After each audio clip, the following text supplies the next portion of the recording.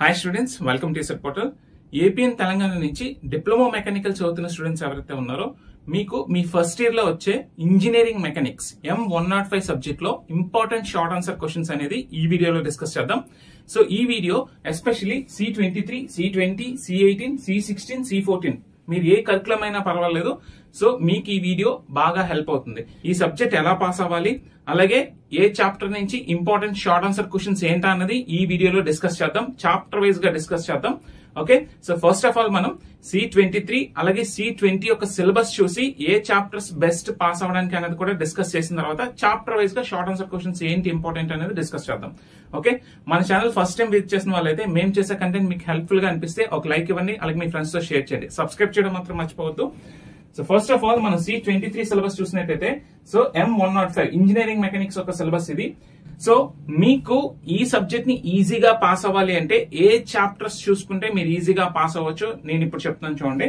So మీరు first chapter అలాగే third చాప్టర్ని చూసుకున్నట్టయితే ఈజీగా మీరు పాస్ అయిపోవచ్చు.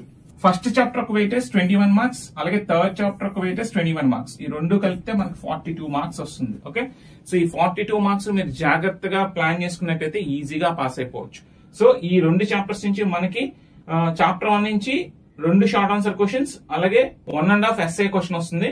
అండ్ చాప్టర్ త్రీ నుంచి రెండు షార్ట్ ఆన్సర్ క్వశ్చన్స్ అలాగే one and half SA question వస్తుంది. ఓకే సో మరి రిమైనింగ్ మార్క్స్ స్కోర్ చేసుకోవాలంటే సో చూడండి. రిమైనింగ్ చాప్టర్స్ తీయండి. Remaining chapters chapter two chapter four chapter five ఇక్కడ నుంచి మీరు ఏం చేయాలి అంటే జస్ట్ షార్ట్ ఆన్సర్ క్వశ్చన్స్ చూసుకున్నా సరే జస్ట్ షార్ట్ ఆన్సర్ క్వశ్చన్స్ అంటే ఈచ్ అండ్ ఎవ్రీ చాప్టర్ నుంచి మనకి ఎన్ని షార్ట్ ఆన్సర్ క్వశ్చన్స్ ఉన్నాయండి?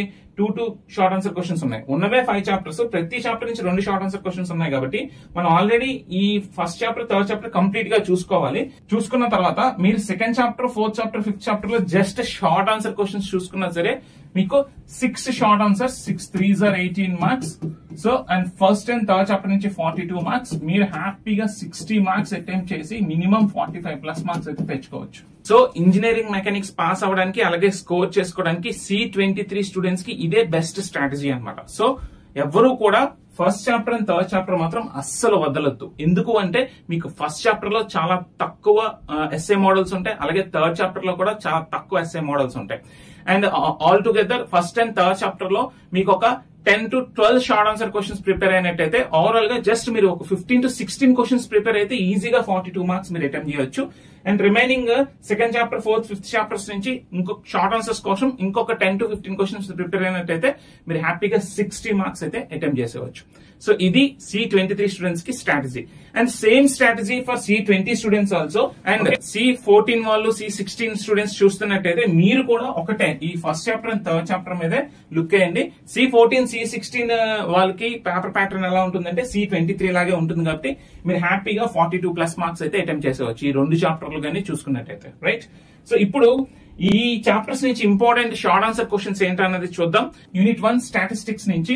సో ఈ ఫస్ట్ క్వశ్చన్లో ఏవో ఒక రెండు అడుగుతాడండి. ఏంటంటే కోప్లైనర్ లేదా non coplanar parallel and non parallel concurrent and non concurrent like and unlike ఏవో ఒక రెండు అడుగుతాడు మనకి.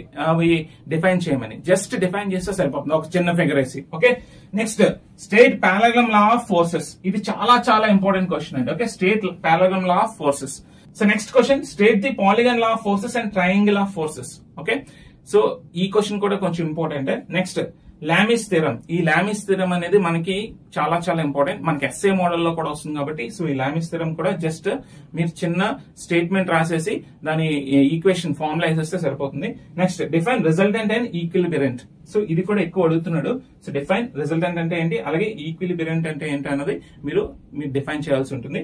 Next find the magnitude and direction numerical so ఒకవేళ న్యూమరికల్స్ అడిగినట్టయితే మనకి పాలగన్ లా ఆఫ్ ఫోర్సెస్ మీద అడుగుతాడు. అంటే రిజల్టెంట్ రిజల్ట్ అంటే ఫైండ్ అవుట్ చేయమంటాడు ఎక్కువ. ఓకే ఆ అంటూ అలాగే దాని డైరెక్షన్ ఫైండ్ అవుట్ చేయమంటాడు అనమాట మ్యాగ్నిట్యూడ్ అండ్ మనకి డైరెక్షన్ అనేది ఈ న్యూమరికల్లో మనం ఫైండ్ అవుట్ చేస్తాం. చాలా సింపుల్ అనమాట జస్ట్ టూ త్రీ స్టెప్స్ వేస్తే వచ్చేస్తుంది. సో ఫస్ట్ చాప్టర్ నుంచి ఈ సిక్స్ క్వశ్చన్స్ మీరు చూసుకున్నట్టయితే సో ఖచ్చితంగా రెండు మోడల్స్ అయితే వస్తాయి. ఓకే సో నెక్స్ట్ మన చాప్టర్ టూ ఫ్రిక్షన్ నుంచి ఫ్రిక్షన్ నుంచి ఫస్ట్ క్వశ్చన్ చాలా చాలా important so state the following angle of friction angle of repose coefficient of friction normal reaction.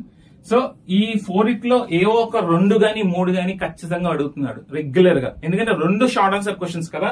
ఇక్కడ నేను ఫైవ్ షార్ట్ ఆన్సర్ క్వశ్చన్స్ ఇచ్చాను. ఈ ఫైవ్ షార్ట్ ఆన్సర్స్లో ఈ క్వశ్చన్కి చాలా ఎక్కువ ఇంపార్టెన్స్ ఇవ్వండి. ఎందుకంటే ఇక్కడ ఇచ్చిన ఈ నాలుగు క్వశ్చన్ సబ్ క్వశ్చన్స్ ఏవైతే ఇందులో కనీసం రెండు అడుగుతాడు ఒక క్వశ్చన్లో. ఓకే చూసుకోండి. Next derive the expression for efficiency of screw అన్నమాట. Okay? So next state friction and types of friction okay next state laws of solid friction and fluid friction okay next find the coefficient of friction and effort required to move the load numerical so ఈ numerical అడిగే chances కూడా ఉన్నాయి okay numerical అయితే so find the coefficient of friction and effort required to move the load numerical అడుగుతాడు. So remaining ఈ four questions ఏంటంటే theory questions అన్నమాట right so second chapter నుంచి ఫైవ్ క్వశ్చన్స్లో టూ క్వశ్చన్స్ వస్తాయి. Next unit three geometric properties of sections so ఈ chapter నుంచి మనకి జస్ట్ ఫోర్ క్వశ్చన్స్ ఉన్నాయి. ఈ ఫోర్ క్వశ్చన్స్ నుంచి మనకి టూ క్వశ్చన్స్ అయితే వస్తాయి. అందులో ఫస్ట్ క్వశ్చన్ అనేది ఇంపార్టెంట్ చూసుకోండి. Define the following centre of gravity centre of mass centroid okay ఏదైనా ఒక సెక్షన్ ఇవ్వచ్చు. అది ఏ సెక్షన్ అయినా అవ్వచ్చు. ఆ సెక్షన్ ఇచ్చి దాని ఒక సెంట్రాయిడ్ అయినా ఫైండ్ అవుట్ చేయమనొచ్చు. ఓకే ఇలా న్యూమరికల్ కూడా అడగచ్చు. రైట్ నెక్స్ట్ స్టేట్ ఇది చాలా చాలా ఇంపార్టెంట్ ఈ second question state parallel axis and perpendicular axis theorem okay parallel axis theorem ఒక చిన్న స్టేట్మెంట్ రాయాలి.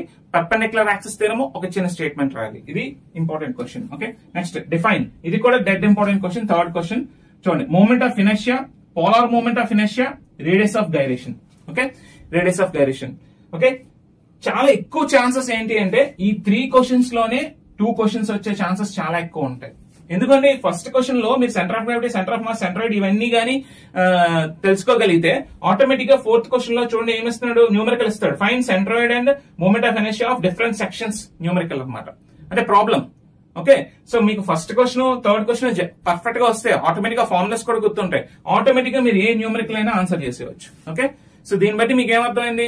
థర్డ్ చాప్టర్లో రెండు షార్ట్ ఆన్సర్స్ అటెంప్ట్ చేయడం చాలా చాలా ఈజీ ఓకే నెక్స్ట్ ఫోర్త్ చాప్టర్లో చూసినట్టయితే మనకి ఫోర్త్ చాప్టర్లో define the following displacement and distance velocity and speed acceleration అడుగుతూ ఉంటాడు. ఇది మీరు డిఫైన్ చేయొచ్చు. అలాగే ఈ సెకండ్ క్వశ్చన్కి ఇంపార్టెన్స్ ఇవ్వండి. Define centripetal and centrifugal force అనేది ఎక్కువ అడుగుతున్న క్వశ్చన్ అనమాట సో దీన్ని కూడా చూసుకోండి. Third question define work power energy so దీని డెఫినేషన్స్ రాయమంటాడు. మనం రాయొచ్చు. అలాగే ఫోర్త్ క్వశ్చన్ ఇది కూడా కొంచెం important fourth and fifth questions అనేవి ఇంపార్టెంట్ అనమాట సో డిఫైన్ ఫోర్త్ క్వశ్చన్ ఏంటంటే define law of conservation of energy and law of conservation of momentum okay ఏదో ఒకటి అడగచ్చు. Law of conservation of energy గురించి రాయమనొచ్చు లేదా law of conservation of momentum గురించి రాయమనొచ్చు లేదా రెండు కూడా ఇవ్వచ్చు ఒకే క్వశ్చన్లో చూసుకోండి జస్ట్ స్టేట్మెంట్స్ కాబట్టి రాయొచ్చు. నెక్స్ట్ డి ఆల్బర్ట్స్ ప్రిన్సిపల్ అడుగుతుంటాడు ఇది కూడా ఫ్రీక్వెంట్గా అడిగే question D Albert's principle so చూసుకోండి. సో ఇవి ఈ ఫస్ట్ అండ్ థర్డ్ క్వశ్చన్ అనేది సింపుల్ సింపుల్ డెఫినేషన్స్ చాలా చిన్న క్వశ్చన్స్ అనమాట సో మీరు కొంచెం second question and fourth fifth questions మీద మీరు కొంచెం జాగ్రత్త వహించినట్టయితే మీరు ఈ ఫోర్త్ చాప్టర్ నుంచి కూడా రెండు క్వశ్చన్స్ ఈజీగా attempt చేసేవచ్చు okay next so next fifth chapter చూసినట్టయితే సింపుల్ మిషన్స్ నుంచి మనకి ఏంటంటే కొంచెము ఎక్కువ కాన్సెప్ట్ చూసుకోవాల్సి ఉంటుంది. ఈ రెండు ఆన్సర్స్ అటెంప్ట్ చేయాలి అంటే so define the following okay define the following velocity ratio mechanical advantage efficiency of the machine okay next list out any three names of inversions of four bar chain okay ఇవి ఎక్కువ అడుగుతున్నాడు. Inversions of four bar chain గురించి చూసుకోండి. List out any three names అడుగుతున్నాడు. అలాగే next define link kinematic pair lower and upper pair ఈ question కూడా అడిగే ఛాన్సెస్ ఎక్కువ ఉన్నాయి. So second question and third question కొంచెం ఇంపార్టెంట్ నెక్స్ట్ ఫోర్త్ క్వశ్చన్ చూసినట్టయితే define the following successfully constrained motion incompletely constrained motion so ఈ question కూడా కొంచెం ఇంపార్టెన్స్ ఇవ్వండి. ఈ త్రీ క్వశ్చన్స్ నుంచి ఒక క్వశ్చన్ వచ్చే ఛాన్సెస్ చాలా ఎక్కువ ఉంటుంది.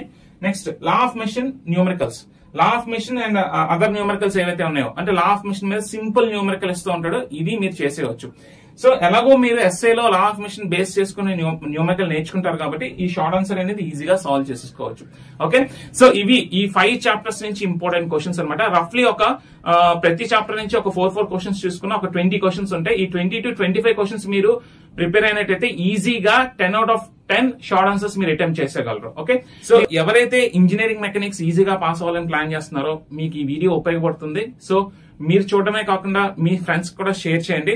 అండ్ అలాగే మీరు ఎగ్జామ్ రాసి వచ్చిన తర్వాత మనం డిస్కస్ చేసిన ఇంపార్టెంట్ క్వశ్చన్స్ నుంచి ఎన్ని క్వశ్చన్స్ మీ పేపర్లో వచ్చాయి కూడా మాకు కామెంట్ సెక్షన్లో పోస్ట్ చేయండి. And previous year question papers కూడా ఒకసారి చూస్తూ ఉండండి. సో మీకు ఒక క్లారిటీ వస్తుంది. ఓకే? సో మా వీడియో నచ్చినట్టయితే ఒక లైక్ ఇవ్వండి. అలాగే మీ ఫ్రెండ్స్తో షేర్ చేయండి. సబ్స్క్రైబ్ చేయడం మాత్రం మర్చిపోవద్దు. మన నెక్స్ట్ వీడియోలో ఇంపార్టెంట్ ఎస్ఏ ఆన్సర్ క్వశ్చన్స్ ఏంటి అన్నది ప్రతి చాప్టర్ నుంచి డిస్కస్ చేద్దాం. సో మరొక వీడియోతో మళ్ళీ కలుద్దాం. అంతవరకు station TSET portal thank you